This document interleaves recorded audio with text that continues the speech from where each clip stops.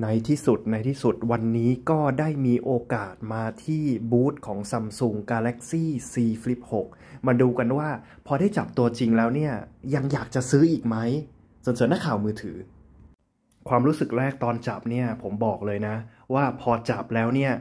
บอดี้ด้านหลังเนี่ย ค่อนข้างลื่นมากๆ แต่ว่าระบบพับไม่ได้ต่างจากเจ้าตัว Z Flip 5 สักเท่าไหร่ แต่แต่แต่สิ่งนี้แหละคือที่ชอบที่สุดนะครับ คือสามารถถ่าย 4K 60 เฟรม per second ด้วยเลนส์ ultra wide ได้แล้วตัวเอง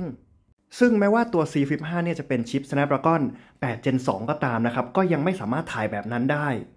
พอเป็น C Flip 6เนี่ยสิ่งที่เราต้องการเนี่ยมันได้เป็นความจริงสักที ส่วนจุดเด่นอีกจุดหนึ่งที่ไม่พูดไม่ได้นะครับ ก็คือในเรื่องของกล้องหลักนะครับ ตัวนี้เซ็นเซอร์อยู่ที่ 50 ล้านพิกเซล ว่าแล้วก็หยิบเจ้าตัว Galaxy Z Flip 5สำหรับคนที่ใช้เจ้าตัว Galaxy Z Flip 5นะครับ จะรู้ว่ากล้องเซ็นเซอร์หลักของเราเนี่ย มันยังสู้เจ้าตัว Z Flip 6 ไม่ได้ แต่จากใจนะ body เทียบ body to body เนี่ย ผมดันชอบการจับถือของตัว Galaxy Z Flip 5 มากกว่า เพราะจับแล้วไม่ต้องใส่เคสมันไม่ลื่นสรรเสริญนักข่าวมือถือ